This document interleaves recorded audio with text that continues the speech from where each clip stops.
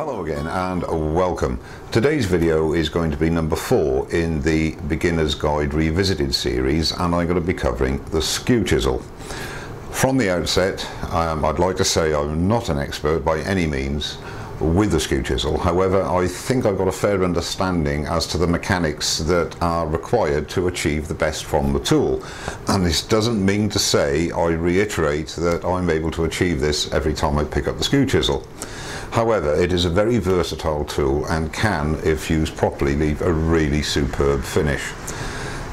Production turners around the world use the skew chisel on a regular basis, not because they want the kudos or for people to say, oh, look how good he is with that tool. They use it because it is the most efficient and cost-effective tool in their armory. Our own homegrown Steve Jones is a prime example of this a wood turner, production wood turner, um, who has been at the game for well over 30 years now, and for the majority of that time, during his production runs, he uses the skew chisel because it is an extremely efficient tool and time is money. So the more pieces he can produce, the quicker, the better it is for him. Us mere mortals, however, have to flounder if you like because we just don't spend the time practicing with this tool or any tool in fact um, but that is just a fact of life. Hopefully this video will give you some hints and tips to enable you to practice and to achieve a better standard of performance with the skew chisel. I'm going to start off by just going through the various characteristics and then we'll get into the video and hopefully you'll enjoy. Now here we have three of the square bar stock skew chisels that I have. Uh, they're all made from quarter inch thick stock. Uh, this one is a quarter inch, three quarter inch and a half inch width. Now the first one here is a standard grind. Uh, this is called the toe, the pointy end, and the base is called the heel. And the don't get too hung up with angles etc experiment and find out what works for you. This particular one here has a 55 degree angle from the toe to the heel and the bevel angle is 25 degrees and I just find that works well for me. And you can see that the bevel obviously is ground equally on both sides. The next one is a radius skew. Uh, this is again made from quarter inch thick bar stock and it's three quarter inches in width and it has a gentle radius from the toe to the heel. And again the bevel angle is 25 degrees. And lastly is the one inch wide skew. Uh, again it has a 25 degree bevel and I don't know if the camera will pick this up but on this particular one to about that area there it's ground straight across there and then the radius starts from about that point there.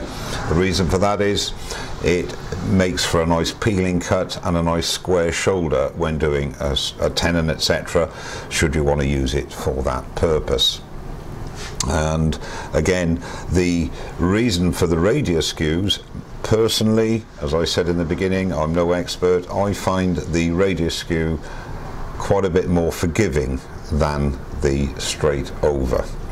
But that is just a personal opinion. And one final design I have is the round skew. Uh, this is actually made from half inch round stock. Um, again a 25 degree bevel on both sides and I have a very very gentle slight radius there. Uh, that is just again personal preference. There is one other design of skew available. It's called the oval skew.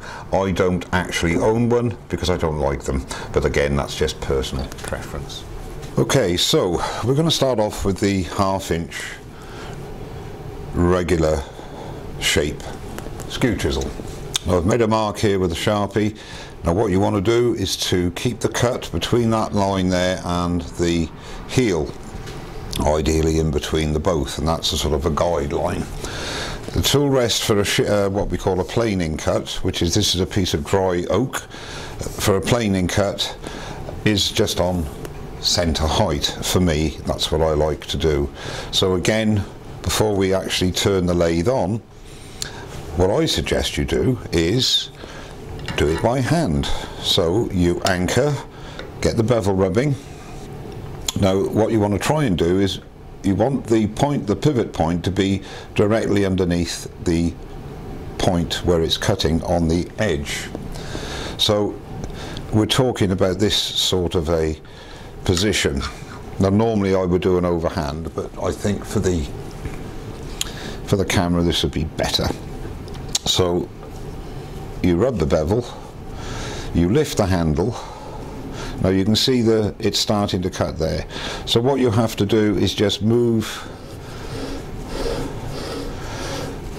the handle like so, and you can see where you're getting your cut. So the first chisel I'm going to use on the planing cut is the standard grind. Again, the usual thing, get everything set up, get yourself nicely balanced and start the lathe. Got to be turning at about 16, 1700 revs, something like that, nothing too excessive. Make sure everything's locked down. Get yourself nice and comfortable as I say. Rub the bevel lift the handle and get your cut and move along the work.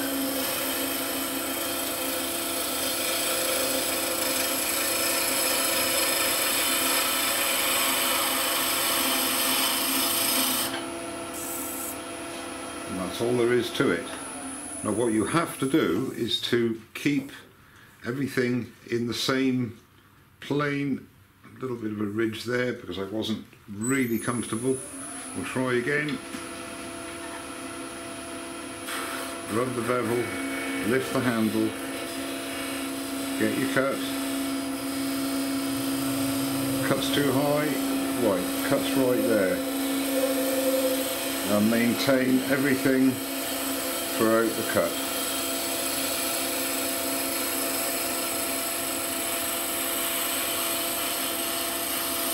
off the end.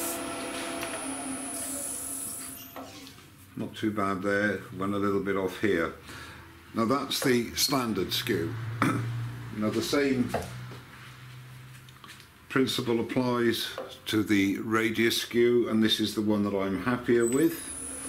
Same thing again, anchor, bevel, lift the handle, twist, start to get your cut and move across the work, keeping everything in the same plane as you can as you're going along the length of the work. Now I'm much happier with the radius skew, it's just me and you can see there a really nice finish. The most important thing as I keep saying is once you've got the cut started is concentrating on keeping the cut in the same position. Now if you look at this for example, got the cut started there. Now if I lift the handle too much, the cut's going to be creeping up the blade. Now what you don't want, and we'll turn the lathe down for this, as Eddie Castelin used to say, no hero moves now if we start in here and we're going along and we're not concentrating, now I've lost the bevel there, it's starting to, to judder a bit. And you can see now I'm lifting a handle I'm lifting a handle. And what's going to happen? If it hits that top point we're going to get a catch. Because that point is digging in. Now the thing is with a radius skew you have a little bit more forgiving, forgiveness because it's not a straight edge. would have the round skew and the same principles apply where you will rub the bevel, twist the handle slightly, raise the handle, start to get your cut and move along the work.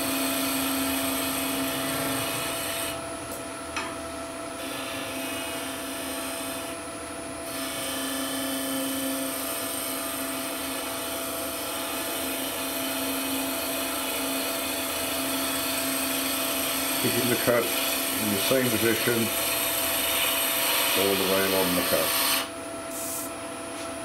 So that is quite an effective tool as well. So now I'm going to show you the peeling cut and the peeling cut basically is a cut across the end grain of the blank to make a nice smooth flat surface. Now you can do it with the regular skew, I feel much happier as with most of my skew work with the radius skew so I shall be doing it there.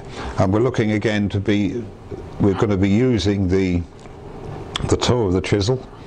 And the idea is to get the nearest bevel at 90 degrees to the blank and that gap there between the face of the blank and the bevel to be as small as possible.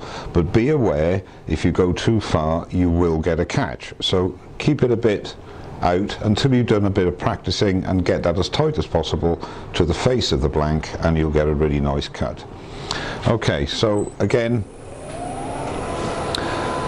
lathe is about 1500 on this one. So you want the bevel at 90 degrees and then make your entry and what you're doing is lifting the handle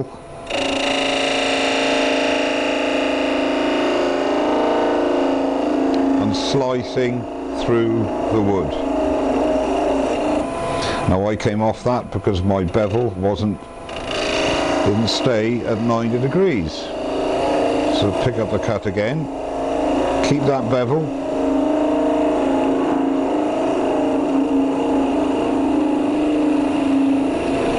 lift. Now I'm not the world's best as I've explained, but you can see the idea, a really nice finish. We'll have one more go. And keep the bevel at 90 degrees, make your entry. And keep as close as you can.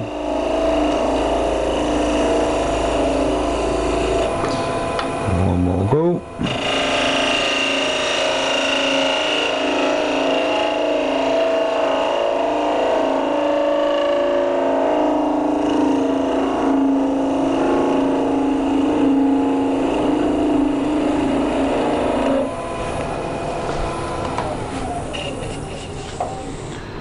not too bad. And on sort of dry hard oak that leaves a nice surface. So there is another cut that you can use the skew chisel for. Okay and the next cut is going to be a convex cut around the corner. Now there's two methods you can use. You can use the either the heel the heel or the toe. So we'll use the heel to start with. So a standard planing cut to begin with but one thing that is important is that you don't try and keep the pivot there and go round like so, you get into trouble. What you've got to do is to start your cut and then lift the handle and again the old adage of keeping the shaving coming from the same part. Once you've started your cut, keep the shaving coming from the same part of the edge and work your way to the middle. So we'll turn him on, pick up the cut, we're going to be using a, and move along the tool rest, lifting.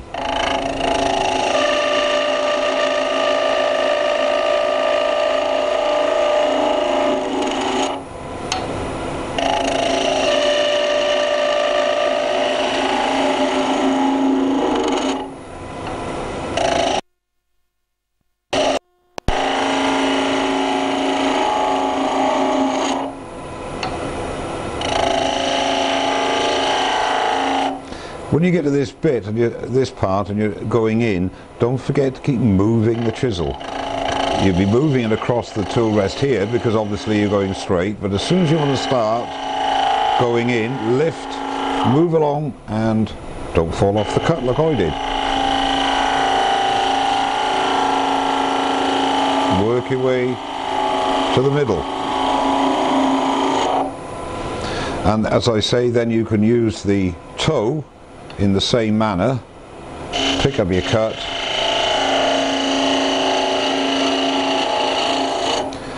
And sometimes it's actually easier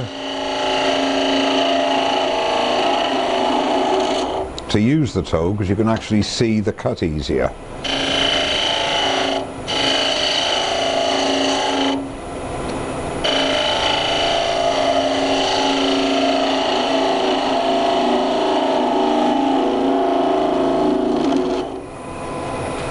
And then a final one maybe.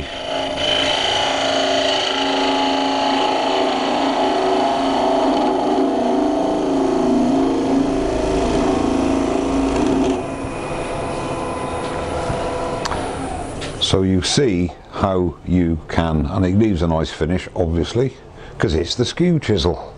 Just get rid of that little dimple at the end and you can pick up a cut rub the bevel pick up the cut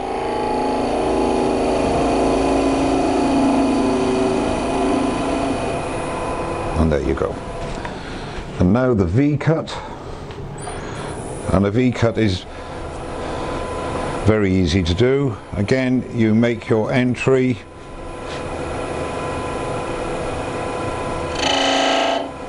And here. And and there's your V cut and finally I just wanted to show uh, a piece of this is a piece of larch I think very soft wood very wide grain wood. Um, what finish you can get with the skew on a planing cut even on wood like this so